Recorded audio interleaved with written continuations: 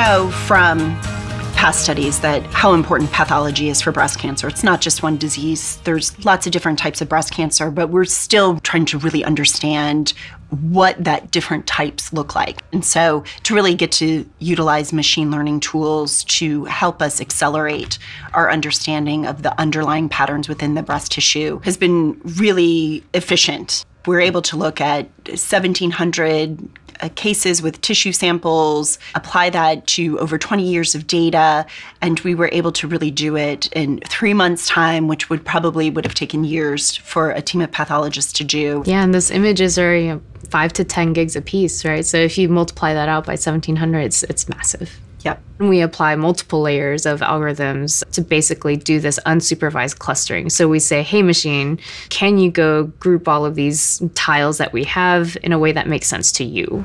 And the great thing is, is that some of those clusters were actually things that we would expect it to find, um, and then some of the clusters were things that we can't describe at all because that's the benefit of the unsupervised approach.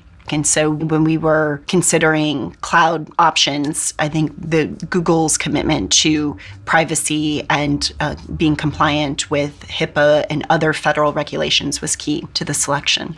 One of the things that I love about this project is it provides an example of how the American Cancer Society can partner with socially conscious corporations like Slalom and Google and work together to make cancer research advances. All of us have been impacted by cancer in some way. And so being able to even put a tiny little dent in that is is just awesome.